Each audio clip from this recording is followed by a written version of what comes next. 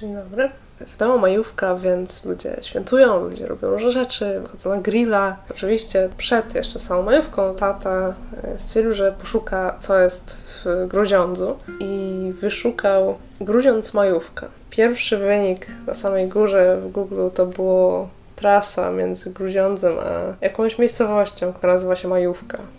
Mamy w Gruziądzu wiele fortów, jeszcze z czasów pruskich. No i byliśmy sobie na tym, tym forcie Księża Góra, generalnie spoko, to jest fort, więc muszą być militaria. No i wiadomo, tam są różne rzeczy, to może sobie zjeść grochówkę, która kosztowała 10 zł. Naprawdę bardzo dużo osób tam przyjechało. Dużo dzieci zawsze też i te dzieci latają z karabinami i tak dalej. Zawsze jakoś takie rzeczy minimalnie budzą jakiś taki niesmak. Wiadomo, że jako dzieciaki też biegaliśmy z kijami, udając, że to są pistolety i tam inne rzeczy, i że graliśmy za dzieciaka, również jakieś Call of Duty i tak dalej. To są rzeczy, które jednak przenikają jakąś naszą kulturę i są rzeczy, które są w jakiś sposób normalizowane. W sensie jesteśmy oswajani z właśnie tym od najmłodszych lat.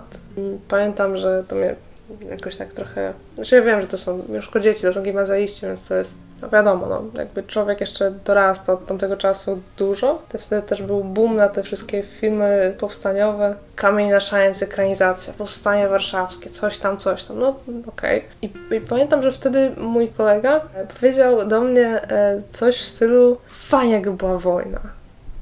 I ja teraz no, no czasem jakby wiadomo, jest 2022, więc można powiedzieć, że te słowa jakoś e, ze mną zostały i dla mnie było tak abstrakcyjne stwierdzenie, że w ogóle ktoś może coś takiego pomyśleć i powiedzieć.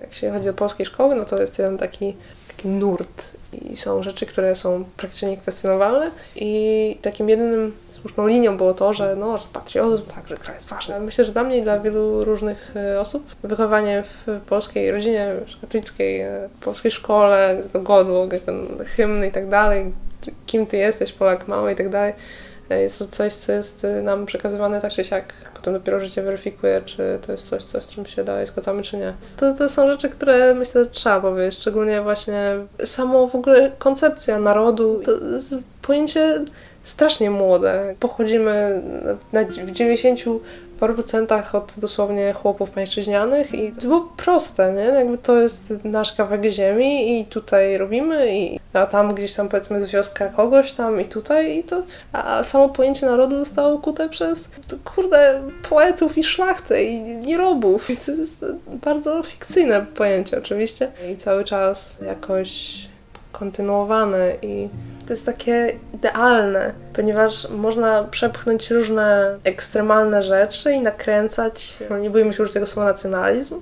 I jest dużo osób, które podchodzą do rzeczy bezrefleksyjnie i są środowiska, które po prostu czerpią z całego serduszka i się świetnie z tego cieszą, że jest grupa młodych ludzi, którzy chce należeć do czegoś, jakby szuka swojego miejsca w społeczeństwie i bardzo łatwo można im zaprezentować niektóre idee, które są bardzo nierzadko też szkodliwe i można w taki sposób też właśnie tworzyć różne bojówki i innych. Dzisiaj też e, na kablówce mamy taki program lokalny i był na przykład patron jednej z podstawówek grudziąckich i to był młody chłopak, 22-letni, zmarł podczas e, jakiejś tam akcji wojskowej i tam chyba waka był czy coś. I oni się cieszą, że mają takiego e, syna tej ziemi tutaj grudziąckiej. I z jednej strony okej, okay, no dobra. A z drugiej e, przedstawiona to była jako taka patriotyczna, naprawdę taki czyn, że jesteśmy tak dumni z tego